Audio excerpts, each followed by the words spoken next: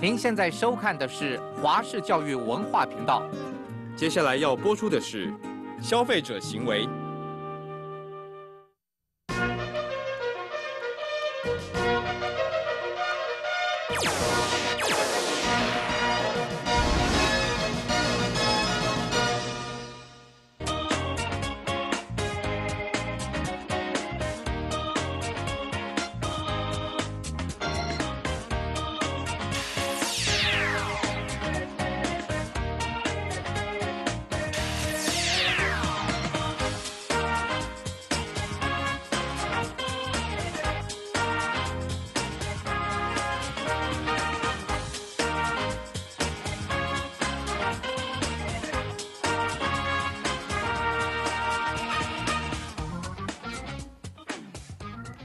好，同学好，呃，消费者行为来到我们第十五个讲次。那么在前面一个讲次当中呢，主要呢我们说明了课本在第十章社会阶层的定义以及衡量的方法。那么本讲次呢，我们仍然继续来探讨各个社会阶层的生活形态的剖面以及它相关的行销活动。那么本讲重点呢如下：第一个是。社不同社会阶层的生活形态。第二，富裕阶层在行销的重要性。第三，高消费群的人口调查。第四，富裕市场的区隔基模。第五，非富裕阶层在行销的重要性。六，台湾贫穷线的调查。第七，社会阶层在行销策略上的角色，以及最后。啊，社会阶层的生活形态分析以及社会阶层与沟通。那么第一个阶段，呃，第一个重点呢，我们谈到不同社会阶层的生活形态。消费行为研究者发现，在每一个社会阶层内，都存在着特殊的社会形态的要素，包含了共同所享有的信念、态度、文呃活动以及行为。借由生活形态的了解，可以有效地区辨出每一个社会阶层成员以及其他阶层成员的差异。在前一个讲次当中呢，我们曾经介绍了华纳地位特征指数，在我们课本的表十之十、十之四啊，这个指数呢，它考虑了这个职业、所得来源、住家类型和居住地区这四种。这个社经的因素，那么将不同社会阶层的社会形态剖面图的资料分成六个社会阶层的职业层级、财富水准以及消费品味等等，那么包含了上上阶层、呃下上、上中、呃下中、上下以及下下阶层，当然。这个未处于任何一个社会阶层的成员呢，他的价值观、态度以及行为形态很有可能是两个或多个社会阶层的混合结构。呃，这个由于六种阶层的分析啊，它是过于的细致，那么因此呢，我们呢就将这个社会阶层呢简化为啊富裕阶层以及非富裕阶层。那么，我们由这个两个相对的阶层的来说明他们在消费行为上的差异，来协助行销人员呢制定适当的策略。第二个重点，富裕阶层在行销的重要性。富裕阶层呢，呃，是一个非常吸引人的市场，因为富裕阶层的成员有较高的可支配的所得，堪称社会的顶尖分子。使得他们可以购买豪华的住宅、进口的修理汽车、精致的高级珠宝、加入高尔夫球俱乐部，以及购买高阶的家用电脑，还有漫游于网际网络的七上电脑等等。研究指出呢，富裕呃族呢，他们在做出任何的购买决策的时候呢，产品的品质跟价格是最重要的参数。经由购买这个奢侈的品牌，富裕的这个族群呢，他渴望有排他性，还有产品的独特性。奢侈的观点呢，是远远超出价格跟标签的合理性。它有强烈的情感连接生活品质、社会地位和终极的幸福。那么奢侈品回报的是能够加入精英集团，跟社会上其他的人有显著区隔，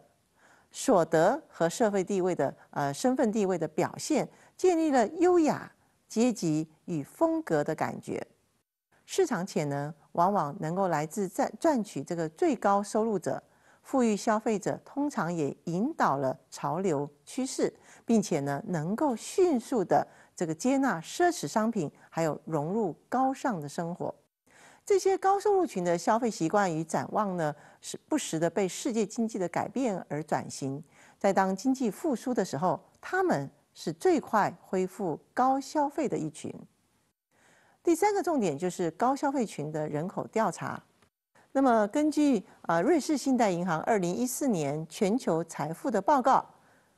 那么指出呢，全球最富有的百分之十的人，他拥有全世界八成七的财富。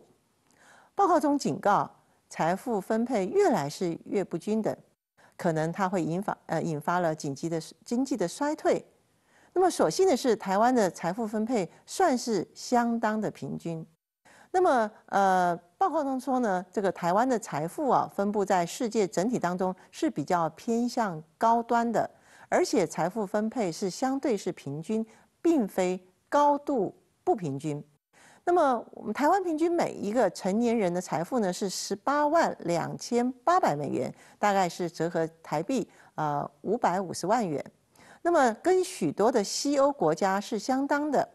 那报告中也说了，台湾只有百分之二十的成人财富呢是不到一万美元。而有将近百分之四十的成人的财富是超过十万美元的，它是世界平均比例的百分之九的四倍之多。所以呢，台湾其实是拥有较高财富的人数的，呃，它反映的呢是高水准的财富平均，而非高度财富不均。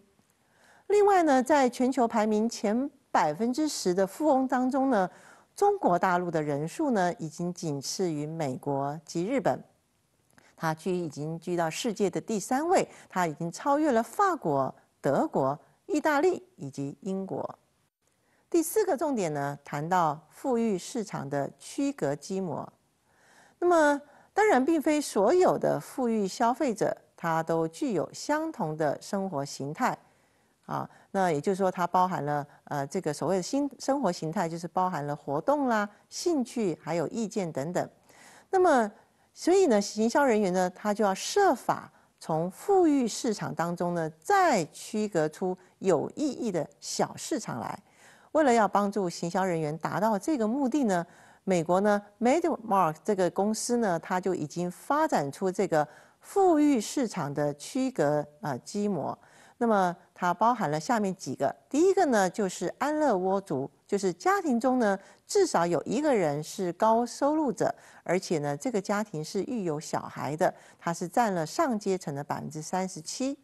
第二个呢是无牵无牵挂族，就是家庭中呢至少有一个人是高收入者，但这个家庭呢是没有小孩的，它占上上阶层的百分之三十二。第三个呢是顾家育呃育婴族，就是家庭中呢有两个或是多个受薪者，但是都不是高收入，而且这个家庭呢是育有小孩的，是占上阶层的百分之十一。第四个呢是双生涯族，就是家庭中呢有两个呃呃受薪者，但他并不是高收入。而且这个家庭呢是没有小孩的，它占上阶层的百分之十四。第五个呢是好命族啊，就是说这个家庭是非常的富裕的，根本就没有寿星的成员，而家长也不是寿星的成员，那么它是占上阶层的百分之六。好，那么上述的区分呢是相当重要的。举个例来讲，研究发现，在休闲活动上。这个安乐窝族呢，他就比较偏好这个网球活动；好命族呢，他就比较喜欢打高尔夫球；而双生涯族呢，就乐于帆船帆船的运动。那么这样的讯息啊，就可以很清楚的提供厂商来进行这个行销的通路以及广告策略的规划。呃，第五个重点呢，我们谈到的是非富裕阶层在行销的重要性。虽然许多的广告行销人员呢偏好将他的产品设计成呃富裕者生活形态的一部分，然而就中产阶级、蓝领阶层以及非专业人员族群而言，行销人员还是无法忽视这一个广大的消费市场。理由如下：第一个，中低收入户的数量攀升；第二个，品牌忠诚度呢通常比富有消费者高；第三个。中等收入的消费者更愿意啊去购买高端的产品。首先，我们谈到中低收入户的数量攀升。那么，我们的呃，我国的卫福部呢，在二零一三年的统计数字呢，显示了台湾的中低收入户的数量从二零一一年的四十三点四万户，到二零一三年的已经增加到六十九点六万户，将近七十户。那么七十万户，那么短短的这个这个两年之间呢，就增加了二十六点二万户。那么二二零一三年呢，卫生福利部呢更公告了最低的生活费的新标准。除了呃五都以及金门连江县之外呢，其他县市呢也都将由现行的一万零两百四十四元调高到一万零八百六十九元，是三年来首次的调整。这代表了中低收入户认定的门槛将放宽，那么总数呢就增加到刚刚我们提到的七十万户。在台湾呢，有越来越多的厂商呢纷纷就投入服务在这块市场的消费者啊，例如像全国电子，在台湾夏季气温越来越高的情况之下呢，有些家庭呢碍于经济的负担，并没有装置冷气，那么家里呢热得像火炉一样，全国电子呢呃就。呃，为了要这个呃增加这个呃这个用户使用这个冷气的意愿呐，所以就推出了这个所谓的二十四期零利率的分期付款的方式。那么还可以到府服务免费安装冷气，来减轻这个呃许多家庭的负担啊。那么就如同它广告的标语，就是全国电子就甘心呢啊。那么第二个呢，就是品牌忠诚度呢，通常比这个富有消费者高。美国研究也发现哦，低收入或者是低社会阶层的消费者，也就是通常就是定义就是这个家计的年收入是在这个三万美元啊，也就是我们新台币大概是九十五万元以下的呢，它的品牌的忠诚度通常是比富有的消费者是来得高的。呃，这是因为啊，这个低消费呃低这个阶层的这个消费者，他们难以承受啊，因为购买不熟悉的品牌而造成了这个呃错误后果的风险。他们的年龄呢是比高社会阶层者，呃，不是较年轻就是较老，也可能是单身或者是离婚者。第三个呢是中等收入的消费者呢更愿意去购买高端的产品。那么，AC Nielsen 呢？它进行大陆的研究，结果显示啊，和高富裕的消费者相比，中国的中等收入的消费者更愿意去购买高端的产品。对于高端的产品呢，他更感到兴趣，因为这个特点呢，近年来推动着中国消费市场的需求结构呢，不断的发生了一些改变。那么，根据尼尔森对汽车市场的一份的研究就显示了，大概将近五成，就是百分之四十七的中等收入。那这个中等收入指的是这个月工资大概是一万到三万块钱每个月啊，一万到三万块钱新台币之间的这些消费者呢，表示他们愿意为了购买五十万元以上的豪华车啊，而去拼命的赚钱。为何这个中产阶层更有意愿来消费这个高端产品呢？尼尔森分析认为，因为一个人到了中等收入的时候呢，会特别想要往上走，即使是压力很大、口袋很紧，但还是要去购买，因为他向往的是那一种的生活。为此啊，尼尔森预测。随着中国消费者的收入是不断的增加，中产阶级呢，今后呢，在十年内也会翻好几倍，这个会继续来推动国内消费的升级。第六个重点谈到的是消费的这个台湾的这个贫穷线的调查。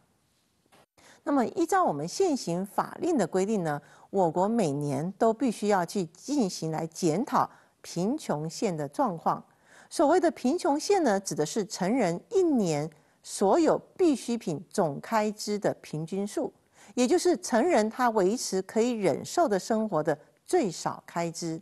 几乎呢，所有国家或者是社会都有贫穷的民众，因此贫穷线为相对的标准。也就是考量该国最低薪资能否满足基本生活所需要的啊，让大家的这个像食衣食住行健保等等的要素呢？那如果没有办法满足他最低生存所需要的呢？它就是列入了次贫。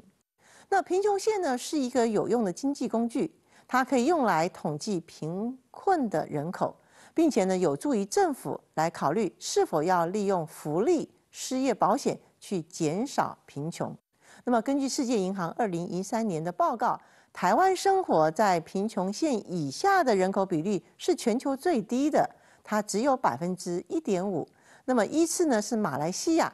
百分之三点八，爱尔兰百分之五点五，澳洲百分之六点二，泰国及法国呢是大概是百分之七点八，瑞士呢是百分之七点九，加拿大。百分之九点四，荷兰百分之十点五，以及沙地阿拉伯百分之十二点七，而查德、海地跟赖比瑞亚则是全球最贫穷的国家，大概有超过百分之八十以上的人口都是生活在赤贫的条件之下。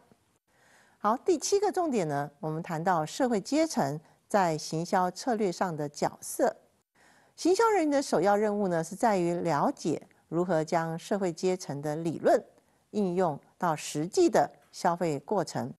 这个可以包括购买地点的选择、对产品品牌的使用、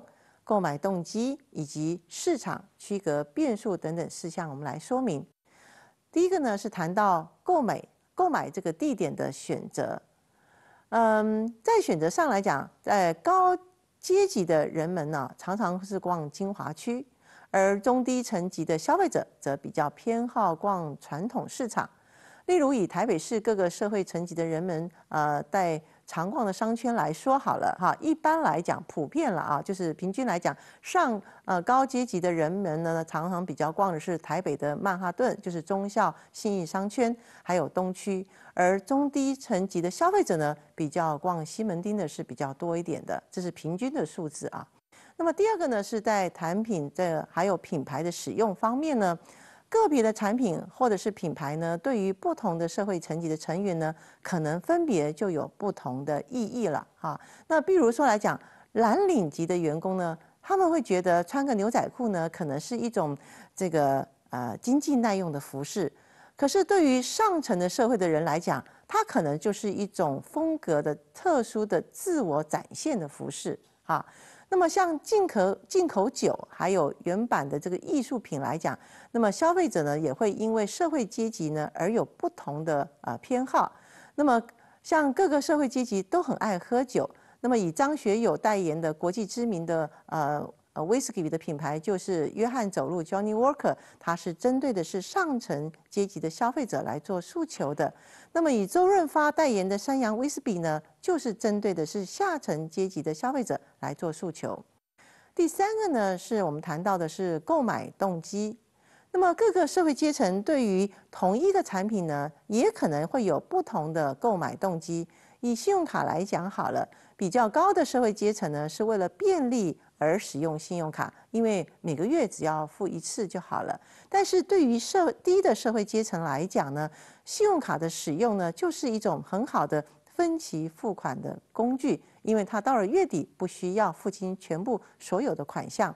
也因此呢，许多的百货公司或者是信用卡中心呢，它就会推出刷卡零利率的优惠的专案。其实它并不是吸引较高的社会阶层，而是借由分期偿还的金额，让中低级的呃这个阶层的消费者呢，愿意这个刷卡购买物品。因此啊，除了成功的推动啊推动行销策略之外呢，啊更能够达到呃销售的业绩的创新。好，那么第四个呢，谈到的是这个市场区隔的变数。在许多的市场区隔的指标当中呢，社会阶级是一个颇具参考价值的这个区隔的变数。行销人员呢，可以根据使用量、购买时机，或者是产品品牌的意义来选定一个市场的区隔。好，比如说是上层的阶级啦，或者是中层的阶级，或者是工作的阶级。然后呢，再将产品的定位成为目标市场顾客群所想要的购买者。我们举例来讲好了，呃，在美国安社公司呢，哈，在旗下它有三种呃这个啤酒的品牌，其实它就是依据不同的社会层级来定位的。好像我们课文的图十之二，它就显示出啊，美国安社公司它针对了这个麦格黑的啤酒。还有百威啤酒以及不许啤酒，它设定了啊不同的社会阶级，而且呢，它也制定了这个不同的推广的主题。好，第八个呃重点呢，我们谈到社会阶层的生活形态的分析。呃，社会阶层的剖面图呢，提供了价值观、态度以及行为等等各种的资讯。它可以将未处于在不同社会阶层的人们在生活形态上的差异来做区分。那么以下呢，我们就介绍以社会阶层为主轴的社消费行为的研究啊，并且呢来说明下列三个部分行销策略的发展，包含了一服饰流行与购物，二休闲啊消遣，还有第三就是储蓄支出与信用卡的使用。第一个。服饰流行与购物，那么分属于不同社会阶层的成员呢，他偏好的流行商品与品味呢是有差异的。举个例来讲好了，中下阶层的消费者对于圆领衫、T 恤、运动帽以及具有外在认同标志的服饰呢，比较具有独特的偏好。相反的，上阶层的消费者他比较偏好购买具有精致外观的衣服跟商品。那像在大陆的上海，公开穿着唐装呢，是一种社会地位的表征，而且可能是发展中国家的经济社会的符号。因为就历史发展来讲，大部分的人民啊，人民啊是没有能力穿着唐呃唐装这种高级的服饰的。同理，许多人们呢，就穿着绣有名牌服装设计师标签的衣服，这也是一种社会地位的表征。表示他们有能力消费昂贵的高级商品的服饰。好，那么有一个研究机构呢，在二零一三年的这个研究报告呢，就指出来，亚洲富裕的妇女她主要喜欢欧洲的这个奢侈的品牌。那么有法国制造的，还或者是意大利制造的商标，那么意味的就是实际上呃有一种排他性跟一种奢侈型的味道。好，那么第二个呢是谈到这个。休闲消遣啊，社会阶层与休闲娱乐以及呃闲暇活动的选择是有着密切的关系。举个例来讲好了，上阶层的消费者比较偏爱的是大脑的认知活动，比如说像是阅读、参观博物馆或者是音乐会、玩桥牌。那么低阶层的消费者呢，他比较倾向是电视族群，还有是钓鱼的偏好者。并且喜欢花费较多的时间呢，在商业性的活动上，像打保龄球、游泳，还有啊打撞球啊，或者到酒吧喝酒，以及呃比较喜欢做组合的模型、绘画、木工制作等等。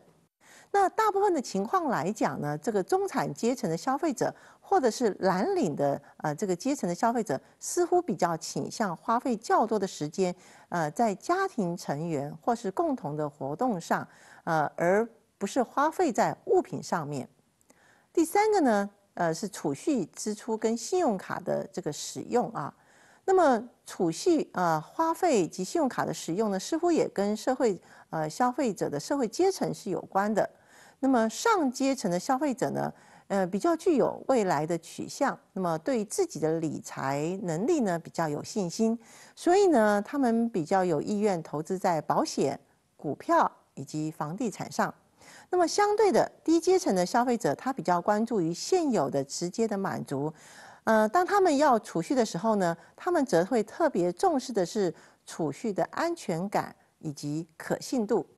那么以消费者的呃，以消费者对银行信用卡的使用习惯而言呢，那么低社会阶层的消费者倾向以这个循环利息的方式来支付银行信用卡的账单，而上阶层的消费者呢，则倾向使用每月付清的信用卡的付款的方式。换言之，低社会阶层的购买者倾向以先买后付的方式，而嗯，那么购买那个价价钱比较呃昂贵的物品呢？而高社会阶层呢，这购买者呢，他呃信用卡的就视为一种现金的这个替代品，它方便呢来购买物品的使用而已。那么第九个重点呢，我们谈到的是社会阶层跟沟通的习惯。好，那这个各个社会阶层呢，在讯息的传递跟接收，或者是在媒体的使用习惯上，到底有什么差别呢？那么，对于社会呃以阶层社会阶层来作为市场区隔基础的行销人员，那么了解这些差差异呢，到底有具有哪些的价值跟意义呢？好，那我们首先谈到的第一个就是讯息的传递啊。那么，沿着社会阶层的由上而下的移动呢，消费者所使用的术语、文字与片语的选择，以及它使用的形态，都会呈现明显的差异。那么研究发现呢，消费者在描述自己的世界的时候呢，低社会阶层他比较倾向使用个人与具体的术语来描述，而中间的社会阶层呢，他比较能够以多种的观点来描述他们自己的经验。这表示中间阶层消费者对于他世界的描述是有比较宽广。或者是一般性的观点，而低阶层的消费者的倾向用以比较狭隘或者是个人的观点来描述对世界的看法。那么以自己的经验，呃，直接经验来看这个世界。因此，如果以低社会阶层的消费者为市场市场目标的话呢，行销人员他所采用的广告文字或者是用语。就必须要反映出这个阶层的特殊的偏好。第二个呢是媒体的选择，社会阶层在媒体选择的差异是什么呢？对于各个社会阶层的成员来讲，他所选择接触的大众媒体呢是有所差异的。在电视节目以及节目类型的选择上来讲，上阶层的成员呢，他比较倾向是选择事实报道。与戏剧的节目，而低阶层的成员呢，则比较偏好肥皂剧、益智猜谜以及喜剧片等节目。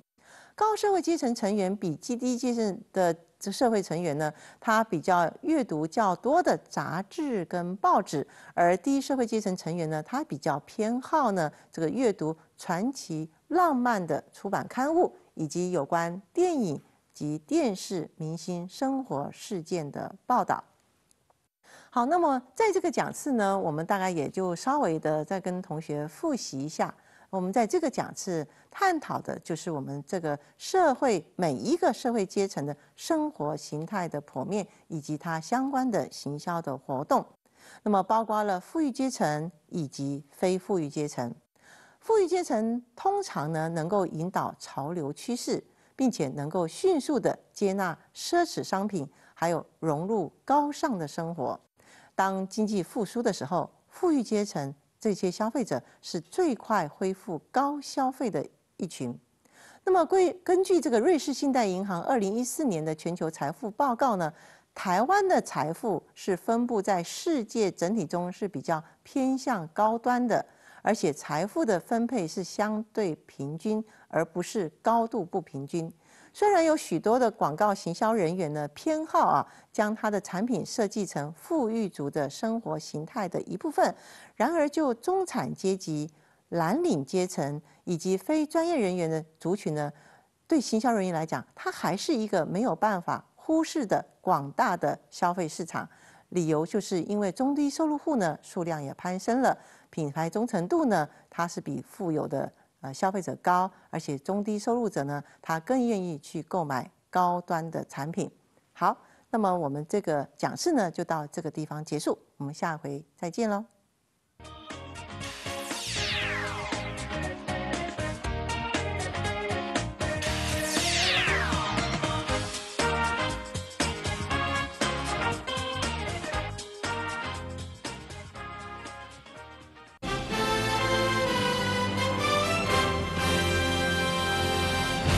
宙浩瀚，知识无穷，华视教育文化频道。